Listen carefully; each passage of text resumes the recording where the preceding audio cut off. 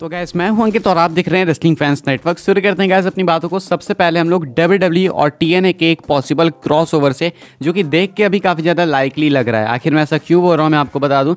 शायद आपको याद होगा, मैंने आपको एक अपडेट बताई थी कि TNA जो है अपने एक्सक्लूसिव राइट्स बेच रही है एंडेवर को कि वो जो है स्ट्रीम वगैरह कराएँ। मतलब TNA प्लस करके कुछ था उनका। बेसिकली वो स्ट्रीमिंग राइट्स दे रहे थे एंडेवर को।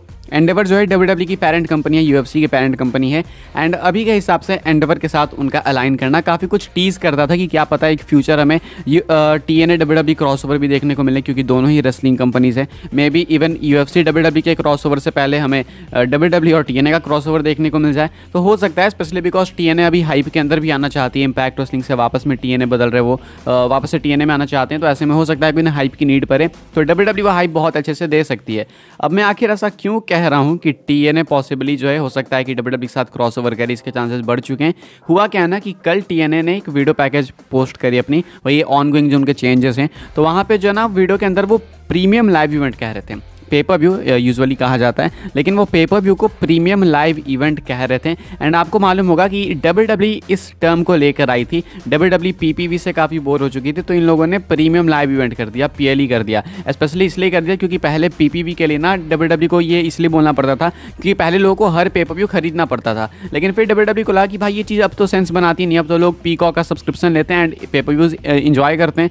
तो वो बात रही नहीं तो पेपर व्यू कहे क्यों हम उसे? प्रीमियम लाइव इवेंट करेंगे। तो ये सेम चीज़ शायद टी के साथ भी हो रही है। तो इन लोगों ने भी पीएलई कह दिया अब अगर आपको याद हो, मैंने आपको बताया कि थर्सडे को जो कि अपने इंडिया के हिसाब से फ्राइडे मॉर्निंग शायद ट्रिपल एच कुछ मेजर अनाउंस करने वाले हैं। एंड दो तीन चीज़ें रूमर्ड है। एक तो टीवी डील दूसरा हो सकता है कि मोस्ट प्रोबेबली ट्रिपल एच किसी नए साइनिंग को अनाउंस करे, फिर कुछ ऐसा। लेकिन अभी के हिसाब से एक स्पेकुलेशन और ऐड हो चुकी है कि जो ट्रिपल एच है, वो शायद से अनाउंस कर सकते हैं कि टीएनए और डब्ल्यू साथ में कुछ काम कर रही है।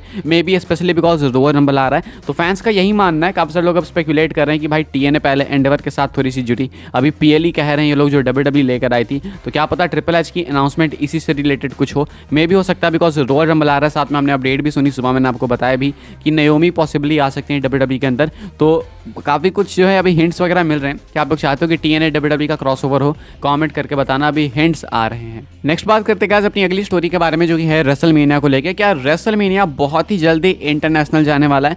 इंटरनेशनल कहने का मतलब मेरा ये है कि यूएस से बाहर जाने वाला है। क्या दूसरी कंट्रीज़ में W W WrestleMania host करेगी?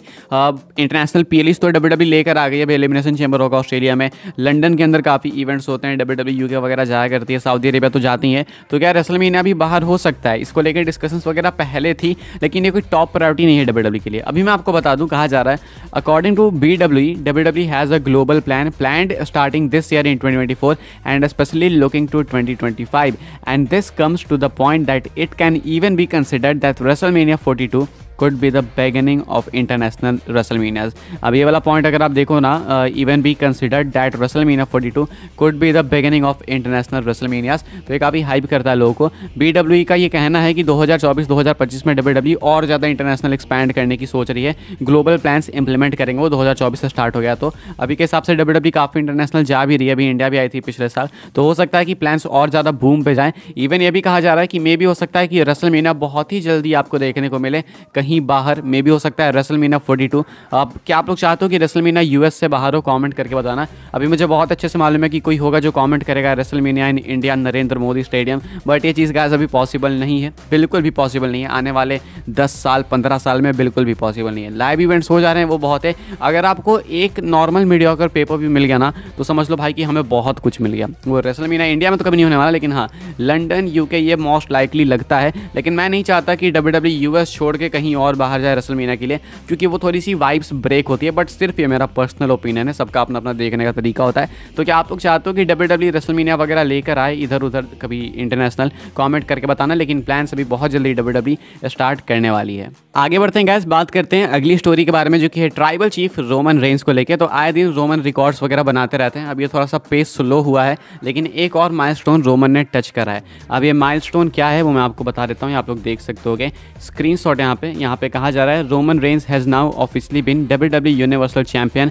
in five different years under one reign कहा जा रहा है ना कि जो रोमन रेंस है, वो सिर्फ़ एक सिंगल रन के अंदर पाँच अलग अलग सालों में चैंपियन के तौर पर देखने को मिले हैं। यानी कि 2020 में रोमन रेंस चैंपियनशिप जीते थे 2021 में भी वो चैंपियन थे 2022 में भी चैंपियन थे 2023 में भी 2024 में भी हैं। तो 20 21 22 23 24 ये पाँच साल होते हैं कंप्लीट एंड ये सिर्फ़ एक रन के अंदर है, एक रेन के अंदर है। अब पहले रोमन ने स्टार्ट करा था चीज़ों को यूनिवर्सल चैंपियनशिप से देन वो बने अनडिस्प्यूटेड यूनिवर्सल चैंपियन दो title side double champion and अभी टाइटल यूनाइटेड हो चुकी है, एक साथ मर्ज हो चुकी है तो रोमन अभी कहलाते हैं सिर्फ़ और सिर्फ़ अनडिस्प्यूटेड चैंपियन एंड ये चीज़ बहुत ही कम लोग कर पाते हैं स्पेशली मॉडर्न एरा में ये चीज़ इम्पॉसिबल है. रोमन ने कैसे कर ली, वो रोमन की रेन इतनी इनक्रेडिबल थी, शायद इसीलिए हो गई. अभी के हिसाब से क्या आपको लगता है कि रोमन को दो हज़ार पच्चीस भी एंटर करना चाहिए एज चैंपियन कमेंट करके बताना।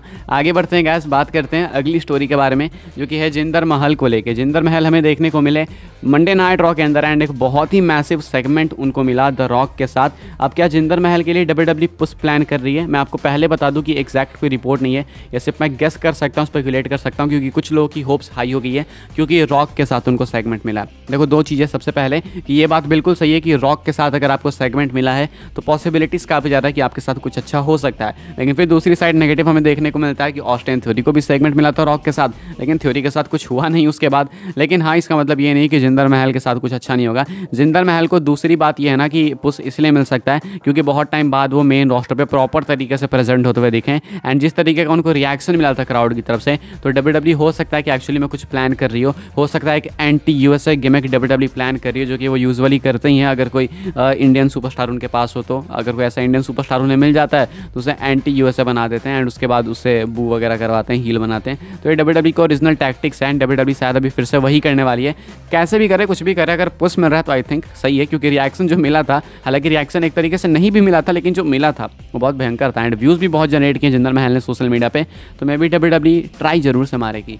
बात करते हैं गाज अपनी आखिरी स्टोरी के बारे में एंड अगर ये अपडेट अगर ये न्यूज़ सही हो जाती है बिलीव मी भाई, बहुत मज़ा आ जाने वाला है। रॉक के साथ तो देखो रोमन का मैच होगा यानी कि रॉक आ चुके हैं रोमन से कम्पीट करने।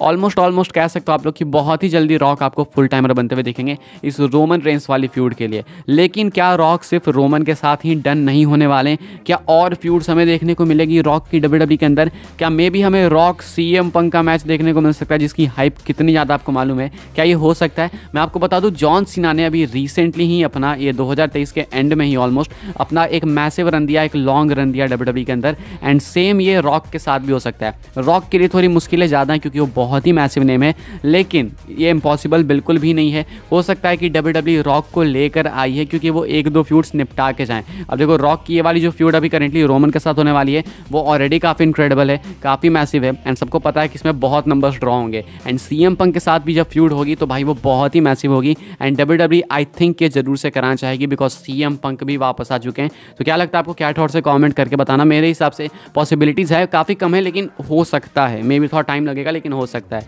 इस वीडियो के लिए यही कुछ अपडेट्स है। आई होप्स आपको वीडियो से इन्फॉर्मेशन मिली हो। मिले तो वीडियो को लाइक करें शेयर करें सब्सक्राइब करें चैनल को। फॉलो कर सकते हैं मुझे इंस्टाग्राम एंड ट्विटर पर लिंक आपको मिल जाएगा डिस्क्रिप्शन में।